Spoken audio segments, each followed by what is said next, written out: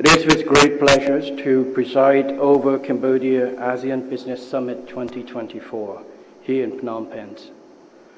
I extend my appreciations to the Cha- សូមថ្លែង Cambodia អរគុណ Chamber of Commerce, សភាពាណិជ្ជកម្មកម្ពុជានិងសភាពាណិជ្ជកម្មអន្តរជាតិនិង Chambers អឺ of Commerce, សមាគមទូរកិច្ចកម្ពុជា and business ទាំងអស់ associations for their សម្រាប់ leadership and ការដឹកនាំ partnership រៀបចំព្រឹត្តិការណ៍ដ៏សំខាន់នេះ Your presence វត្តមានរបស់អាដាម signifies a លោកជំ collective ទាវលោកលោកស្រី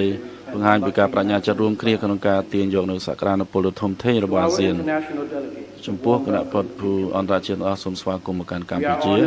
យើងមានកិត្តិយសក្នុងការទទួលអ្នកទាំងអស់គ្នានៅពេលដែលដោះស្រាយបញ្ហាប្រឈមនេះនិងកលានុវត្តភាពដែលកំពុងជួបនៅក្នុងតំបន់យើង unleashing ប្រធានបទបញ្ចេញសក្តានុពលអាស៊ាន ការតបជាប់បច្ចេកវិទ្យានិងកំណើន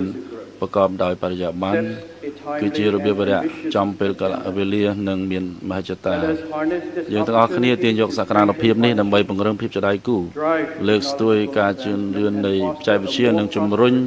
សហគមន៍អាស៊ានឲ្យកាន់តែមានវិបុលភាពនិងសមធម៌